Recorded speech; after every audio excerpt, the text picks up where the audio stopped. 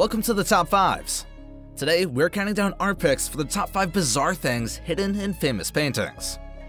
Which bizarre item in a painting surprised you the most? Let us know in the comments. Number 5. Young woman powdering herself. Georges Seurat. This oil on canvas painting by French artist Georges Seurat was first exhibited in 1890.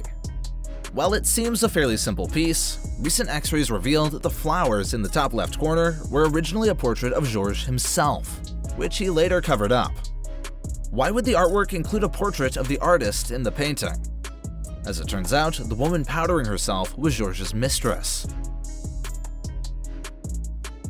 Number 4. David and Goliath Michelangelo This piece of Renaissance art adorns the ceiling of the Sistine Chapel, and was painted by none other than Michelangelo in 1509. It depicts David defeating Goliath, and at a first glance, you wouldn't notice anything out of the ordinary. But there is a hidden symbol meaning in David's stance over Goliath that takes the form of the Hebrew letter Gimel. It represents reward and punishment, which perfectly aligns with the theme of this masterpiece.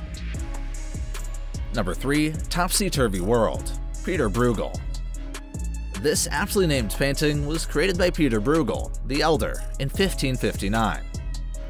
The chaos of the painting is intentional, as hidden in the artwork are the depictions of 112 proverbs presenting common truths about human behavior. One of the easier ones to find is the hitting one's head against the brick wall.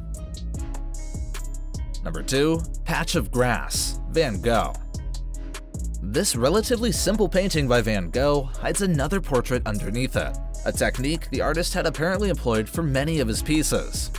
It was discovered in 2008 by two scientists who uncovered a sad woman looking behind the blades of the grass.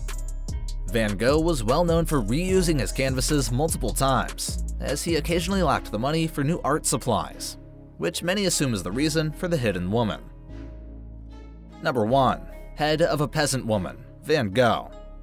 Van Gogh takes the second and first spot on our top fives, with his ghostly self-portrait that was discovered on the back of one of his masterpieces. Head of a Peasant Woman.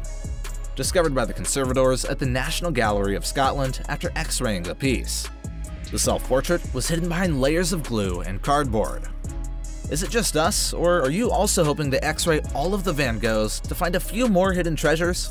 Let us know in the comments below.